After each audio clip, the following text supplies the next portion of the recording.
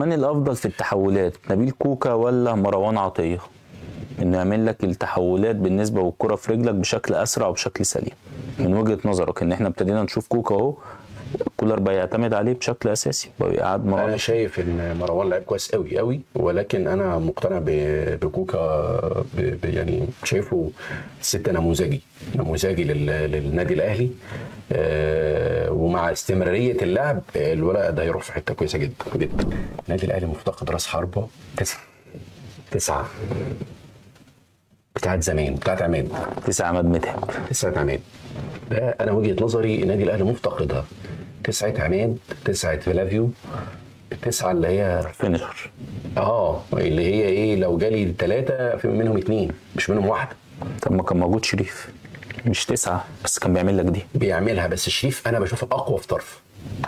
مش أنا أنا يعني بشوف شريف على طرف مرعب.